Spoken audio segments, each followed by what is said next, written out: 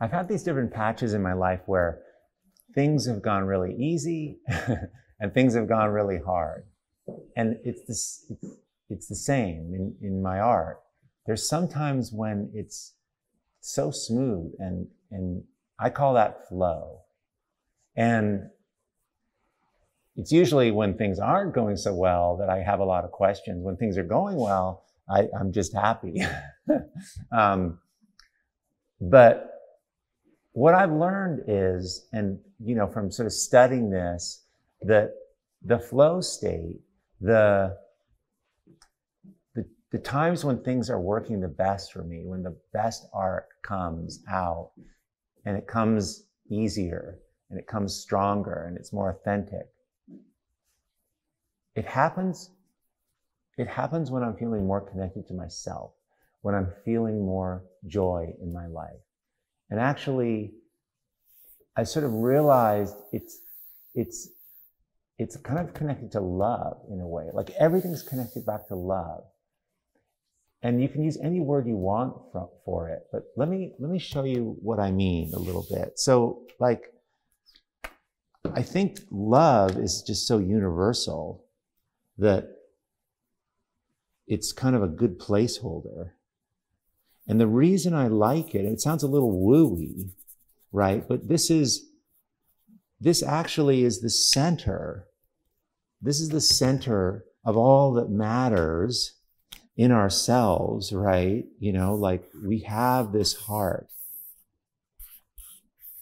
This is, this is the core, right? You can call this peace. You can call this your soul. You can call this, but I think love and, and paying attention to this, this is also super loving. It's, it's giving yourself what you need, doing things that bring you alive, making art that feels like you, making the kind of art that you want to make, not what other people expect you to make, what truly feels what, what, what art is generated from the center of you.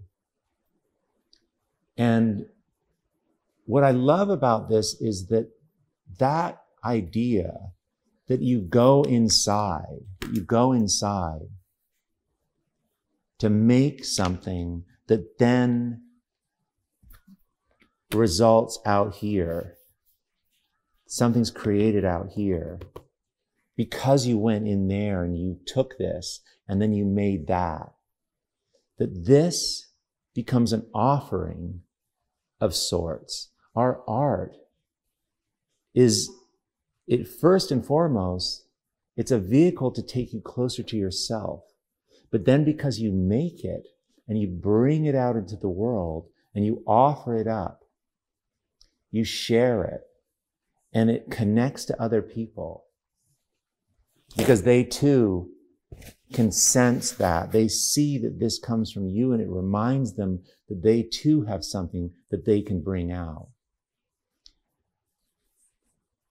I love this idea that, that, that we derive the work from in here to create an offering out here.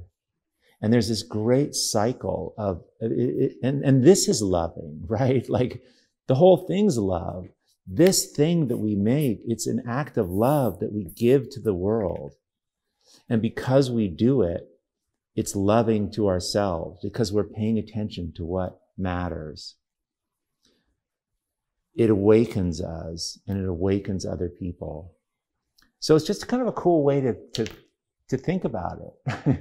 and, and, and that reciprocity of making things and offering things this is the dance we're all involved in. And it seems to me uh, it, it's such a, it's, it's an unusual thing that we do.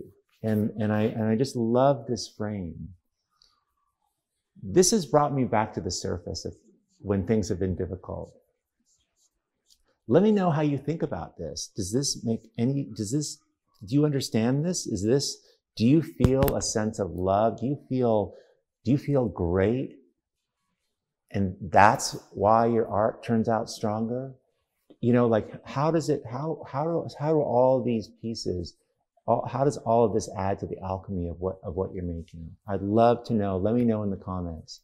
So this idea, which has really become a huge part of, of how I think about my art making and my, and my life making, frankly, um, all kind of originated um, through meeting somebody. And this week, uh, on Wednesday, we have a new podcast, episode uh, number four, coming out.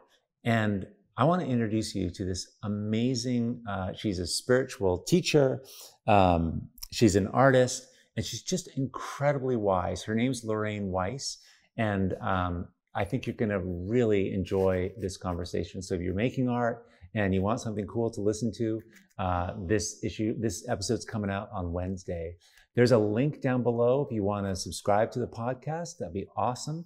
Um, and there we have we have a few episodes already up that are already there, and um, I would love you uh, to participate. So listen, thanks so much for being here, and I will talk to you really soon. Okay, bye. Hey everyone, if you found this helpful, I have a whole lot more to teach, share, and inspire you with every single week. So please join the Art2Life YouTube channel by clicking the subscribe button below. Okay, great. Let's do this.